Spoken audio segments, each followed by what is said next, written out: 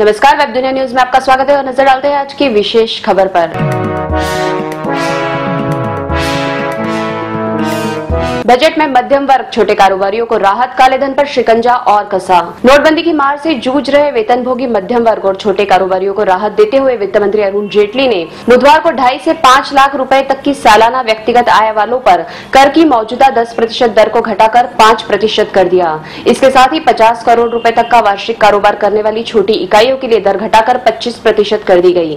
वित्त मंत्री ने हालाँकि पचास लाख से लेकर एक करोड़ रूपए की सालाना कमाई करने वालों पर दस प्रतिशत लगाने का प्रस्ताव किया है। एक करोड़ रुपए से अधिक सालाना व्यक्तिगत कमाई करने वालों पर पंद्रह प्रतिशत अधिभार को बरकरार रखा है।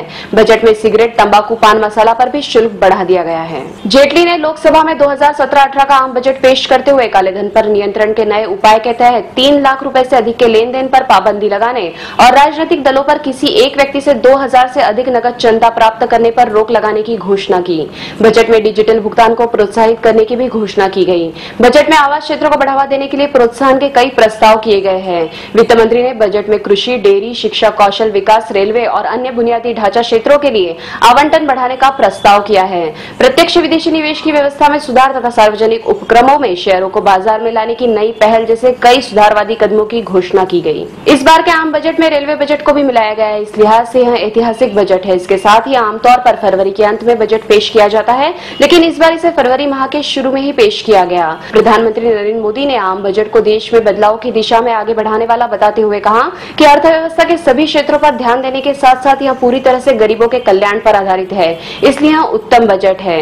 रेल मंत्री सुरेश प्रभु ने भी बजट का स्वागत किया है।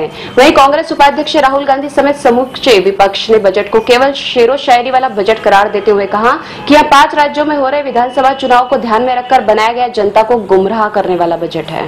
और आइए नज़र डालते हैं आज की हेडलाइंस पर। बजट में अगले वित्त वर्ष के लिए कृषि ऋण का लक्ष्य 10 करोड़ रुपए। मनरेगा के लिए अभी तक का सबसे अधिक अड़तालीस हज़ार करोड़ रुपए का आवंटन। बेघरों के लिए 2019 तक बनेंगे एक करोड़ मकान। प्रधानमंत्री आवास योजना के तहत आवंटन पंद्रह हज़ार करोड़ रुपए ऐसी बढ़ाकर तेईस हज़ार करोड़ रूपए। सरकार का ऐलान मई 2018 तक सभी गाँव में पहुँचाएँगे बिजली। रक्षा क्षेत्र के लिए दो लाख चौहत्तर हज़ार एक सौ चौदह करोड़ रुपए का प्रावधान। ये थे आज के प्रमुख समाचार और बाकी खबरों के लिए लॉग इन कीजिए W W W dot Webdunia dot www.gmail.com.